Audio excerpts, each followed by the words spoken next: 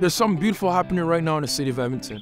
New narratives are being created, new stories are being told, and new faces are new leaders. And all of us have this strong desire to support each other and create conditions where cultures are flourishing.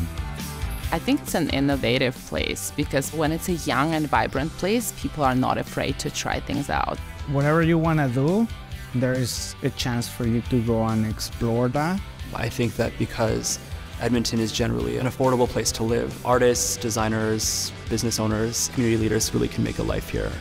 Edmonton is filled with many communities of creators, of artists, of innovative thinkers. You know, I've met so many amazing people here. What I really want to do is bring the world to Edmonton. It's such a wonderful place to live.